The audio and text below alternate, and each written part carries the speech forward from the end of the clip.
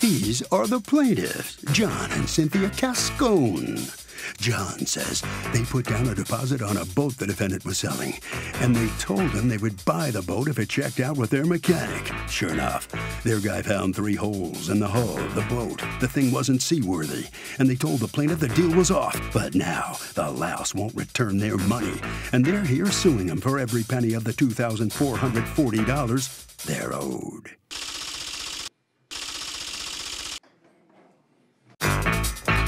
This is the defendant, David Simso.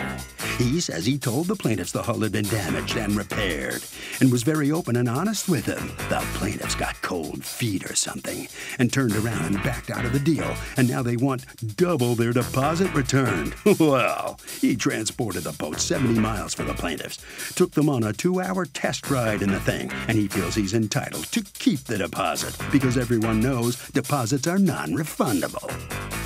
Accused of having holes in his storage. The defendant has filed a countersuit for $5,000 for boat transport, storage, winterization, and depreciation. All parties, please raise your right hands. Welcome back to the People's Court. Next case in the docket. The plaintiff put a deposit down in a boat, but the mechanic said there were three holes in the hull and they can't get their money back now. The defendant says he told the plaintiff about the hull and it was repaired. It's the case of it's a hull of a thing. Gracias. John Cascone and Cynthia Cascone. What happened here? You folks were buying the boat of your dreams. Yeah, we thought. Uh, my son notified me of the boat that was for sale on Craigslist. Uh, I was out of town that week, so I couldn't look at it. I asked them to take a look at it because we both felt the price was really good. And uh, my It was nuts- low. Yeah, it was very low. Right. So you thought, wow, I got to nab this one. Exactly. Right. So then- they went and took a preliminary. It preliminary. was what kind of boat was it? It's a 300 Sea Ray Sundancer, 1994, Okay. And uh, how much were you asking? 16,000. Okay. So go on. I took a look at the boat after I returned. My son, I talked to my son after he looked at it, and uh, he said the boat looks good, except there's a patch on the bow in the front, good-sized patch. Uh, he said I asked Mr. Simso. He told me it was uh, purely cosmetic. It wasn't structural, and uh, just hadn't needed to be sanded out.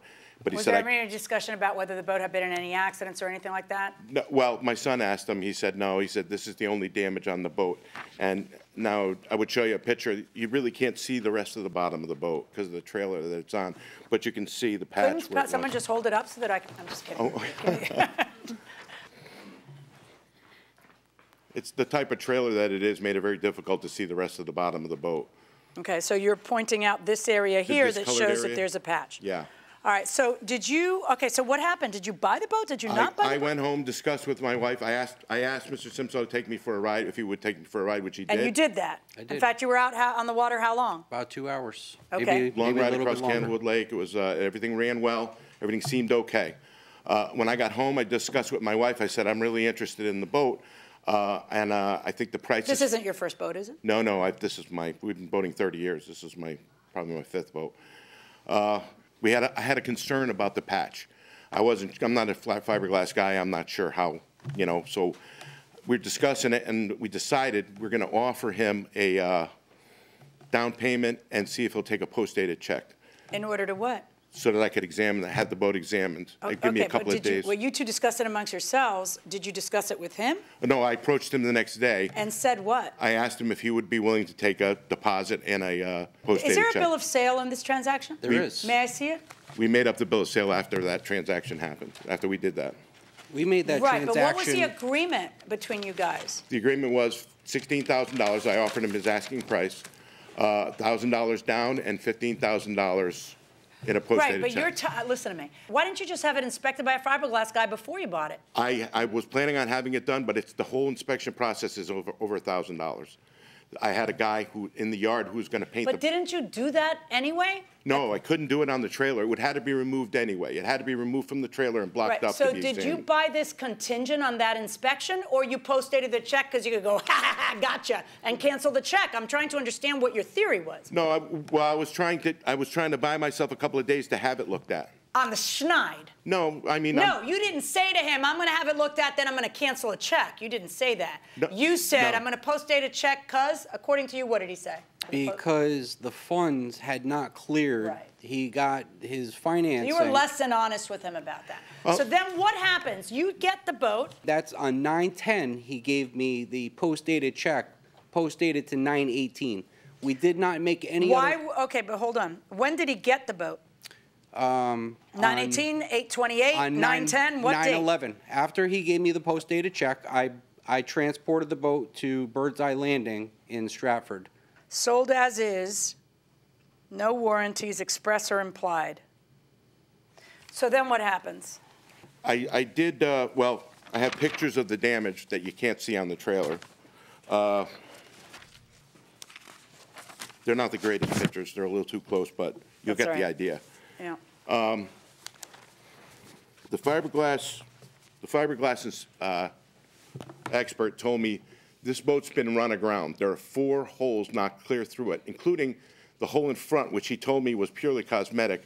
He had removed sections of the inside of Well, the no, boat. you could see, okay, stop a But he second. removed Stop a second. You've been boating 30 years. You know that n- there's no such thing as a cosmetic patch. Nobody takes a beautiful boat and then smacks something on it. It's a repair, so you know something happened. So if it looked bad, that's what he was calling cosmetic. Well, the, the fiberglass repairman told me these holes are so severe. Right. The engines have to be removed, the gas tanks have to be removed, the boat has to be inverted, and patches. It's a disaster. So what, do you have anything from the fiberglass guy? I do. Yeah. All right, so now he contacts you and tells you this, and what do you tell him? This is his card. Sold as is, no warranties, tough for you? No, I. Right, you don't. I went and got the boat because I had no money and no boat. Well, no, you had a check from him. That check, as far as I was concerned, was no good at that point. Why? I figured he was going to cancel it. Maybe he will, maybe he won't. Then he has another problem, which is called passing bad checks. I didn't know that. Right. I, I would have left the boat with him had I known that. All right, so you go and you get what? What? What do you do with the check he wrote to you? I wrote void across it and I mailed it to him. After a few text messages between the two of us, and it wasn't going very well, I How gave. were the? Does anybody have the text messages? I do. Oh, I love seeing text messages when nobody thinks the judge is going to see them.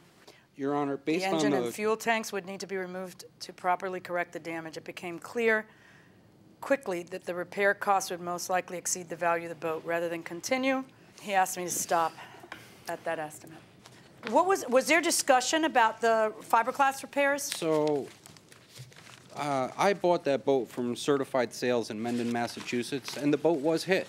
And I disclosed all of that information up front, that I made the repairs. I If you're the offered- guy who fixed I them- offered for Ms- Mr. Cascone to have the boat inspected at its location. He had every opportunity to do Show me the check where he wrote void.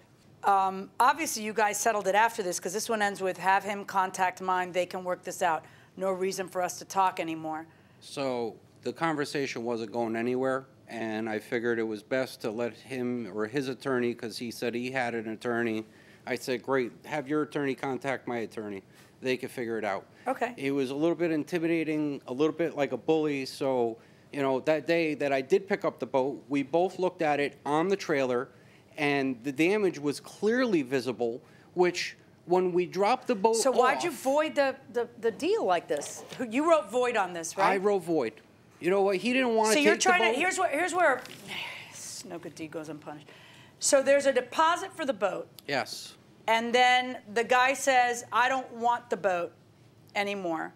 You void the additional check. I figured he put a stop payment on it. This is all the money you paid for the boat minus $1,000, correct? Correct. Correct. All right. And then, did you ever tell him you'd return the 1000 Never. I, And fact- then you feel that you should be able to keep it because, quote, deposits are non-refundable. And I transported the boat 70 miles. and it's not enough for you to get all the rest of that money back. You feel like you should get not only the thousand, but now you've doubled that. So I paid. Just cause? Like, what's your reason for doubling your lawsuit? So if this boat has holes in the hull, um, and it was sold as is, I mean, God, it's got holes. Can the te- can the uh, new owner or this guy get his deposit back? No, I mean, he, that's what he signed up for. He knew what he bought. So it's like going to Vegas. Yeah, almost. I think uh, he should have looked over the boat a little bit more because it's as is. Oh, okay, that's actually a really good point going inside the courtroom. In the small claims court uh, uh, paperwork, it says if this is a deposit, you check, you can ask for double and I checked I off think they're double. talking about rental. I just threw it out there. Yeah, I mean, they- yeah, just threw it out there, Yeah. see what would stick. I think they're talking about landlord-tenant and not. I, I, just- I, I had a Yeah. feeling maybe that was the All right, case. so, uh, and w- now, it's, you're suing for 2,440, where's the other amount of work? Uh, it was three hundred fifty dollars from my hauler to pick the boat up at the ramp, bring it to the yard, block it up, then unblock it, bring it back to the water and And then launch it another again. ninety dollars for work coverage for Cynthia, what are you talking about? She runs a daycare and she had to take the day off to be here. And now you've got a counterclaim against him for five thousand dollars, a thousand for transportation, two thousand one hundred and forty for storage from September to today, because what? Because you say it's his boat? I say he's You can't say both things. You can't say it's his boat and then void this Non-payment's ask a different issue, Your Honor. What else are you suing for? Winterizing the boat? I had to protect the boat. here's what's happening. People approach things different ways, but the bottom line, the real bottom line, is this is about a thousand dollar deposit, where you feel that based on all everything you've gone through, you should be able to keep the deposit, and you feel like you should be consequence free. Now, I truly thought that there had been an agreement between the parties that he was able to get it inspected and that this check and cashing it was contingent upon that. No, ma'am. I realize now from his own admission that that wasn't the agreement. He basically said, Well, I figured I'd be fine because I post dated the check. Um, so now it's up to me to see. Normally, that is the status of a deposit, it's just non refundable.